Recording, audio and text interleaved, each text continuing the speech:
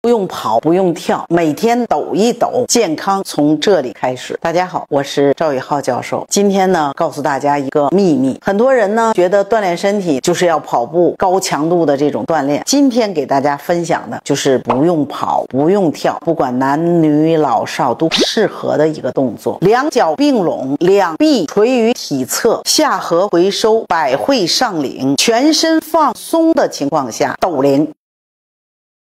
粘枕头秒睡，一学就会，建议收藏。大家好，我是赵宇浩教授。你想一躺在床上就能睡着吗？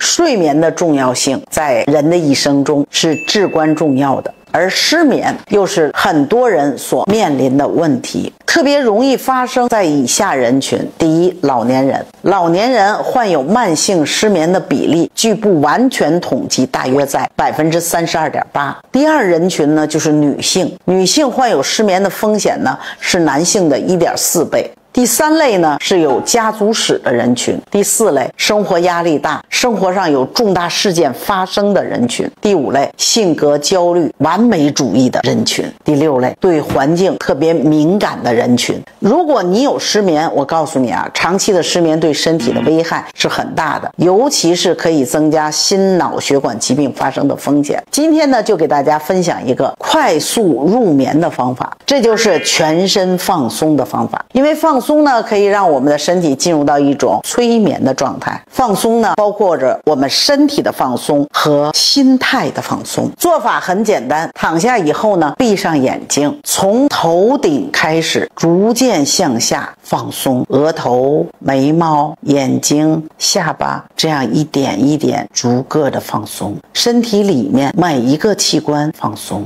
放松一遍，再放松一遍。总之啊，别的不去想，一直。只想着这个身体放松这件事。这个方法呢，除了可以让你的身体放松之外，可以把思想全部都集中在身体如何放松上，这就排除了杂念，不去胡思乱想。每天睡觉之前呢，就这样去做，坚持一段时间，慢慢的你会发现，躺在床上之后啊，用不了多久就很容易的睡着了，睡眠成为了你很幸福的事情。少用毛巾降血压，快提。父母收藏好，用毛巾呢可以降血压。你是不是觉得很奇怪？先别急着划走，这个方法是加拿大的医生首先提出来的。美国心脏病协会把这个方法列为了高血压的辅助手段之一。具体的操作就是把一块毛巾对折成方形，从一边卷成卷儿，卷的呢不要太粗了，一只手能握住大拇指啊，不会碰到其他的四指，中间有一个空隙，这样的程度就可以了。然后呢，用百分之三十的力量去。去攥住它两分钟，休息一会儿。左右手呢，重复这样做两次，每周坚持做上这样三次。这个的原理呢是什么？手握着这个毛巾的时候，就会压迫血管，手臂上血管的血液就会减少。当我们手放松之后，血流就会恢复。这个时候呢，就释放出一种物质，叫做一氧化氮，它是一种扩张血管的物质。所以说，一氧化氮释放增多之后，我们的血管就会得到了扩张，血压也就得到了改。改善。这个方法学会了呢，它可以辅助降血压。每天记录你的血压变化情况，经过一段时间以后，该调药的时候去找你的专业医生指导你，再逐渐减量，不可以马上停药哦。手指操，五指连着五脏，食指连着心，所以我们把手指呢给练灵活了，对身体的五脏和心脑血管方面都有很大的好处。下面跟着视频和音乐的节奏训练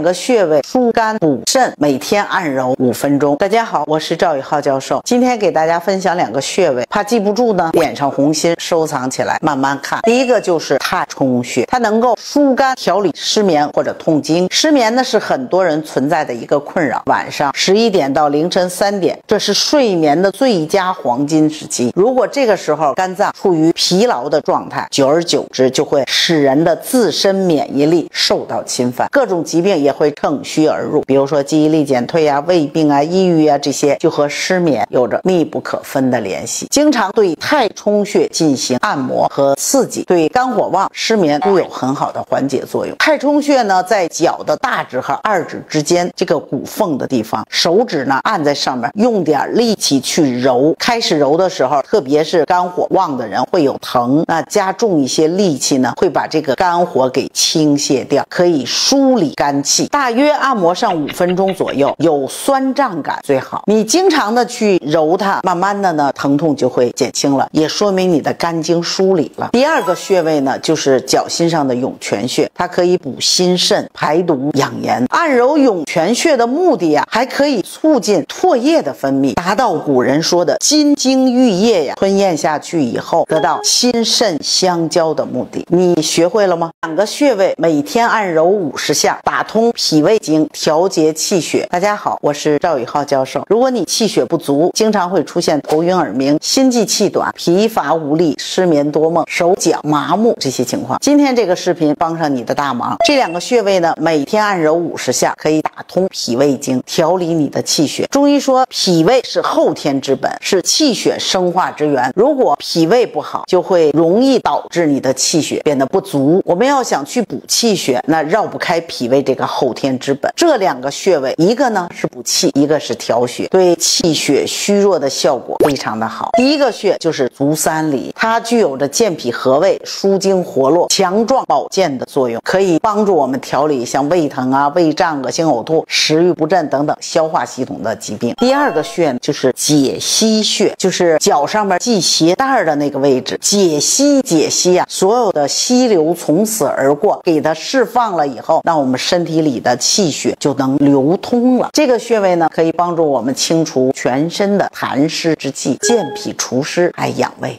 中医教你一个又省钱又管用的补脾和胃的小方法。大家好，我是赵宇浩教授。你如果脾胃好了，身体才能好。脾胃是人的后天之本嘛。今天呢，我就教你一个补脾和胃的小方法。由三个食材组成：淮山药、陈皮、鸡内金。如果是明显的消化不好，鸡内金的用量呢，可以稍微用多一点。如果还有舌苔上比较厚腻的湿浊，那陈皮的用量也可以稍微多一点。这三个东西呀，可以把它们和在一起。山药给它砸碎了、碾碎了，陈皮呢给它打成粉，鸡内金也给它打成粉，和在一起。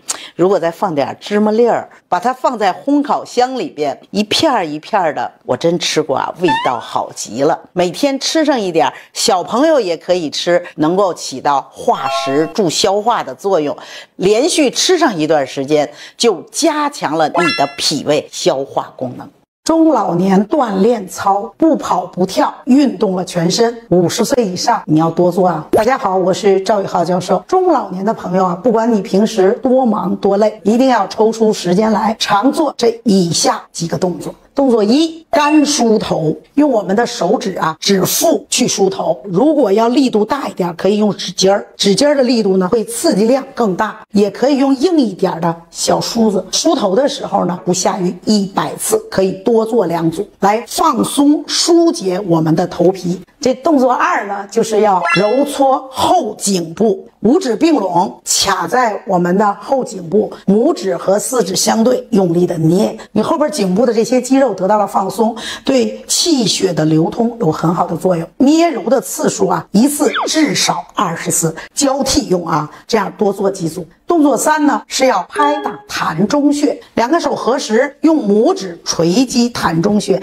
这样可以使你的气海得到振奋，有补气这样的一个很好的作用。尤其是总爱叹气的朋友，一方面是你肝气郁结，另一方面气虚的表现，多做这个动作会有好处。第四个动作呢，就是要揉腹，可以坐着，也可以站着，也可以平躺着，两个手呢，劳宫穴相对，按顺时针方向至少揉二百次，加强了肠道的蠕动，也加强了排便。第五个动作，搓揉后腰，我们可以把手掌心呢对着我们的后腰肾的部位进行搓揉，揉热乎了，这样缓解了腰部的疲劳，增加了肾气的功能。动作虽然简单，但是做起来非常的有。效，分享给你身边的家人朋友。丹参配一味药，对付血管堵塞不手软，便宜又好用，大家千万不要错过。有血管堵塞的朋友，不要花大把大把的钱，简单便宜的药也好用。我是赵宇浩教授，临床工作四十多年，真的不忍心去看大家呀，为了血管堵塞的问题去再花冤枉钱，疗效却不尽人意。大家如果有什么问题，都可以发给我，我只要看到就会帮助到你。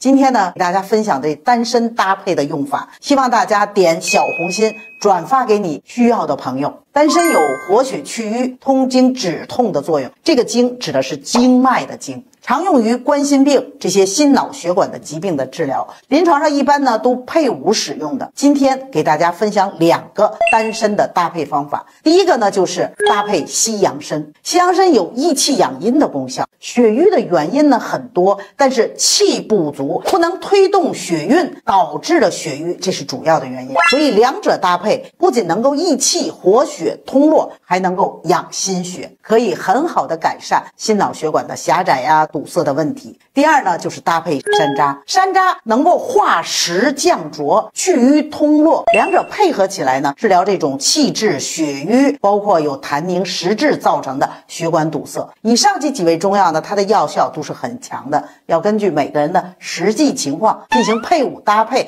这样才能更好的发挥原有药物的功能。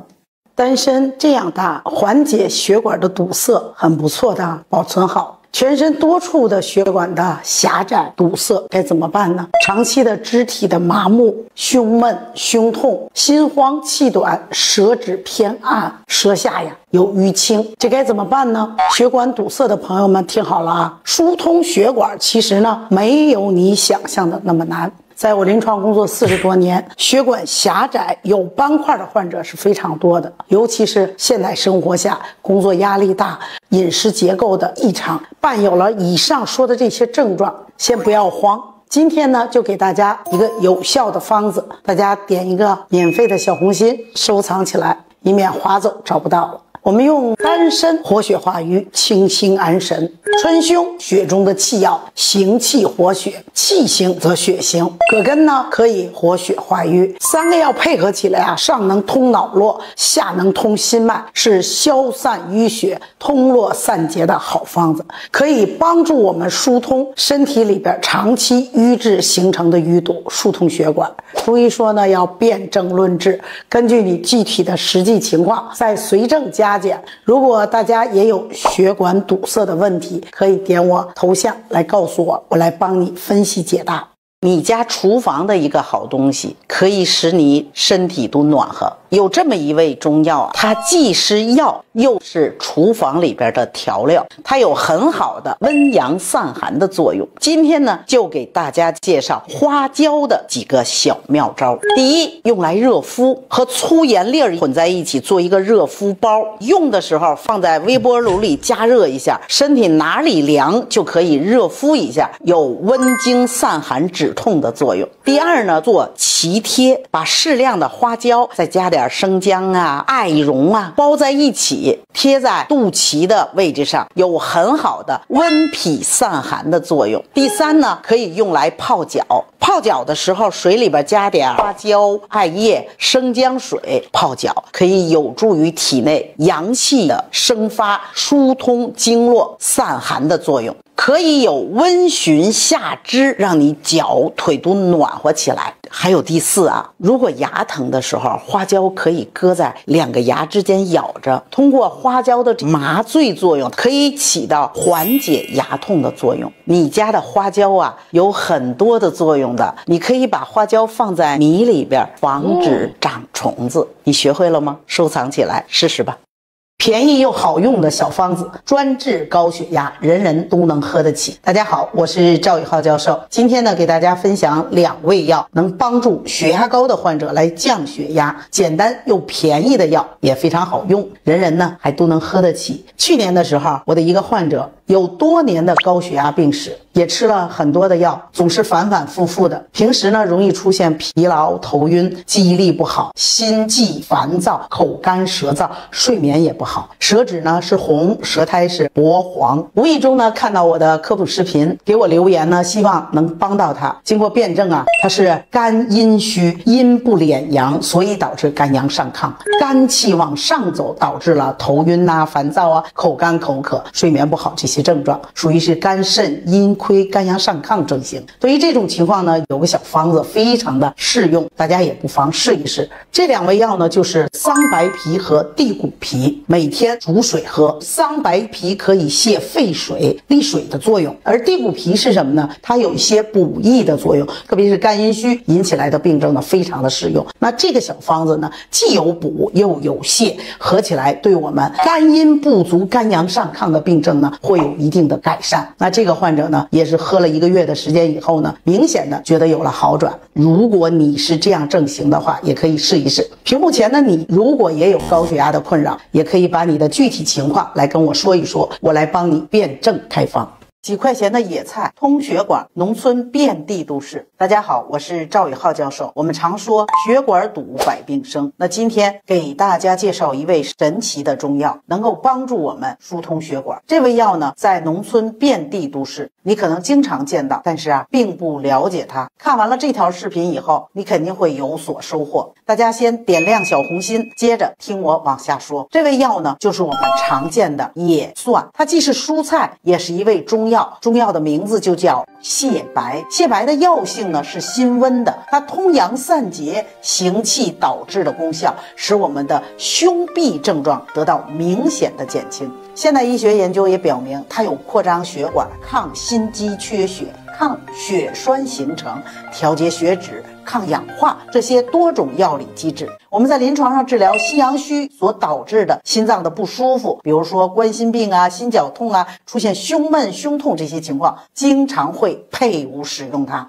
需要医生呢根据临床患者的具体情况进行辩证加减。你记住了吗？山楂的四个黄金搭档搭配好，泡水的效果会翻倍。大家好，我是赵宇浩教授。都知道啊，山楂是可以降血脂的，好用而且还便宜。但是你知道山楂怎么吃它效果会更好吗？下面呢就给大家介绍山楂的四个黄金搭档，赶紧点亮小红心收藏起来，防止呢划走找不到了。第一个方法就是山楂加上丹参，丹参可以补血活血、化瘀通络，山楂搭配起来。以后呢，增强了化瘀、降血脂的作用。第二个搭配啊，就是把山楂和黄芪搭配。黄芪呢是补气之王，特别适合于气虚不能推动血液运行这种血瘀的类型。和山楂搭配以后，一个是补气，一个是化瘀降脂，这样就增强了整个的降血脂的作用。第三个搭配呢，就是山楂配上菊花。菊花呢可以清肝平肝。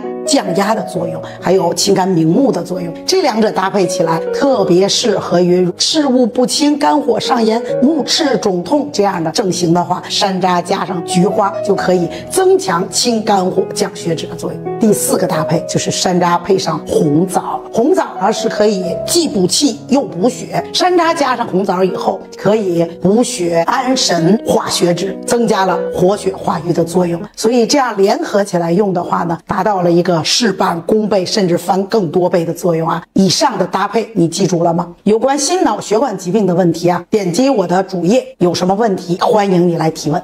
五十岁以上的血脂高的人一定要认真的看。不管你是低密度脂蛋白高，还是总胆固醇高，还是你的甘油三酯高，不用再四处求医问药。如果你也想告别像胸闷呐、气短、呼吸困难、头晕这些症状，也不用再花大把大把的冤枉钱。我是首都医科大学赵宇浩教授，临床工作四十多年，帮助了很多的高血脂、高血压、高血糖这些三高的患者恢复了指标。我现在坚持在平台上进行科普，就是希望能帮助更多有需要的人。如果你也有需要，只要你点我的头像进来，把你的病症告诉我，我都会尽力的帮助你。二零二三年，告诉大家一个治疗血管斑块的好方法。担心血管斑块脱落造成脑梗、心梗，大家别再杞人忧天。中医有方法可以控制、可以调理的。相信啊，你悬着的那颗心现在就可以放下来了。我来帮你控制。我是首都医科大学赵宇浩教授。不管你有软的斑块还是硬的斑块，或者是颈动脉的超声报告里你不会看到底是什么情况，需要专业的人士来分析。现在呢，这些情况都不用大老远的跑到医院里边去挂号排队，你可以给我点一个小红心，我就是你的医生朋友。你可以直接大胆的点我的头像进来告诉我，我把适合你的方法发给你。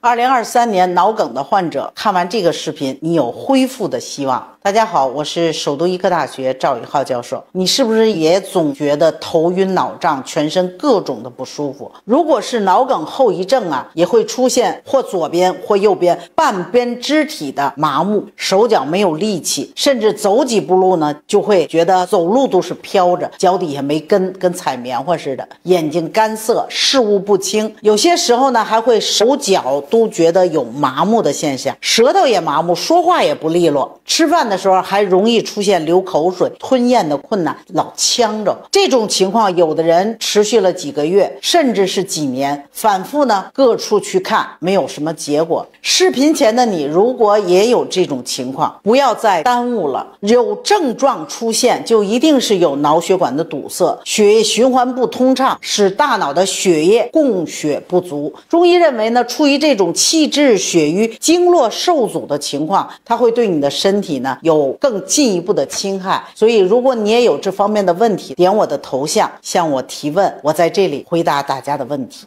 一片叶子泡水喝，帮你轻松平稳降血压。大家好，我是赵宇浩教授。高血压的病人呢，一提到降血压的药，心里边总有说不出来的一种滋味。吃多了怕被副作用缠身，不吃呢又怕并发症缠身。今天就给大家教一个简单的降压方法。我们在喝水的时候可以加上一味中药，这味中药呢就是罗布麻。罗布麻性质是微寒的，它具有着清热降火、平肝息风。